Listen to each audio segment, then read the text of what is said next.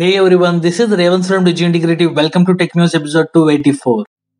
OnePlus 9RT price in India starts at Rs 42,999, though it comes down to Rs 38,999 after bank discounts. It features a Snapdragon 888 processor, 50 megapixel primary camera, and a 65 watt fast charging support. OnePlus 9RT will go on sale from January 16th.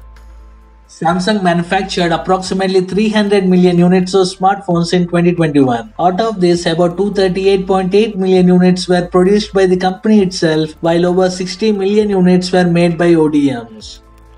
Redmi Note 11S renders have been leaked. The render reveals a quad camera setup at the back. The key Redmi Note 11S specifications include a MediaTek 5G processor, 108 megapixel triple camera setup, and a 90Hz display. Realme 9 Pro features a punch hole cutout, triple cameras and a black color option and it comes with an in-display fingerprint sensor. The key specifications include a 6.58 inch Full HD Plus display, OLED panel, Snapdragon 695 processor and a 64 megapixel primary camera. Realme 9 Pro global launch is set for February. OnePlus launched their much anticipated OnePlus 9RT in the Indian market, which is scheduled to go on sale starting from January 17 for all customers. The Xiaomi India took to Twitter to announce the sale of the Xiaomi 11T Pro, which will commence on January 19th at 2 pm after the official launch at 12 noon on the same day. Poco M4 Pro bags Thailand NBTC certification with the model number displayed on the screen. Its specifications, launch date and price are unknown at this moment. It will be launching soon in India as well. Oppo Pad has been spotted on the Geekbench site with the model number displayed on the screen. The key specifications include a Qualcomm Snapdragon 870 processor, 6GB of RAM and a 256GB of storage and it comes with a 33W fast charging support and a 13 megapixel primary camera. Oppo Pad will be the first tablet from the Oppo. The iQOO 9 series of smartphone is soon going to launch in India. It will be priced similar to the OnePlus 9 RT in the country. This device will be powered by a Snapdragon 888 processor and it will not be coming up with the Snapdragon 8 Gen 1 chipset.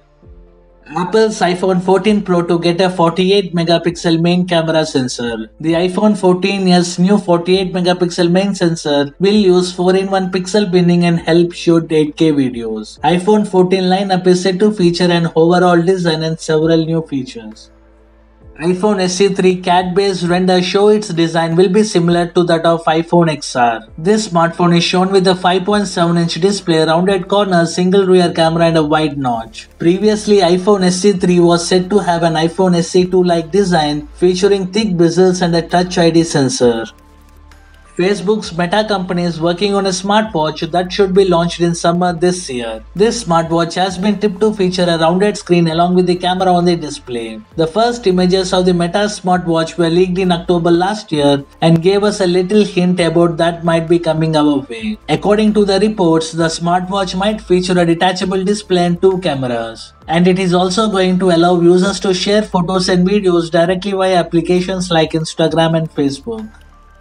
Motorola is gearing up to release a new version of its stylus wielding Moto G stylus. The design is just like a leaked render's punch hole display, triple rear cameras, and a stylus slot near the bottom firing speaker. The built in stylus is a centerpiece of the head and is shown a powerful tool for sketching out ideas and jotting down notes. Instagram is testing on a new vertical scroll for stories in Turkey and Brazil. This will put the touch control in line with Reels and rival TikTok. Instagram said back in February 2021 that it was working on vertically scrolling stories. Now the stories have been horizontally scrollable.